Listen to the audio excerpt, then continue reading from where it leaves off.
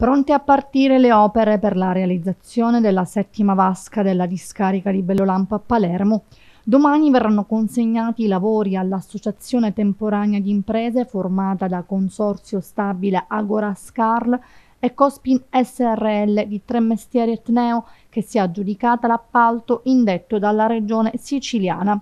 La gara, per un importo a base d'asta di 24,7 milioni di euro, è stata assegnata con un ribasso del 33,6% pari a 16,5 milioni di euro.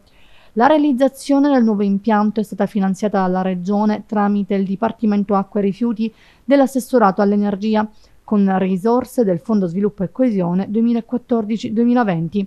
L'opera, progettata dalla RAP, ha una capacità di stoccaggio di circa un milione di metri cubi, un sistema di raccolta del percolato ed è dotata di un sistema di controllo geotermico e di un monitoraggio ambientale finalizzato a impedire eventuali fenomeni di inquinamento dell'area circostante.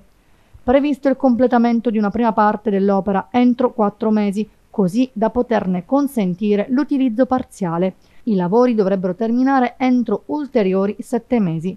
I rifiuti saranno preventivamente trattati nel limitrofo ed esistente impianto per il trattamento meccanico-biologico. Sul progetto hanno espresso il proprio parere favorevole numerosi enti, tra cui il Comune di Palermo, l'ARPA, l'ASP, il Comando dei Vigili del Fuoco, l'Assessorato regionale al territorio e ambiente, il Dipartimento regionale acqua e rifiuti, la Soprintendenza ai beni culturali.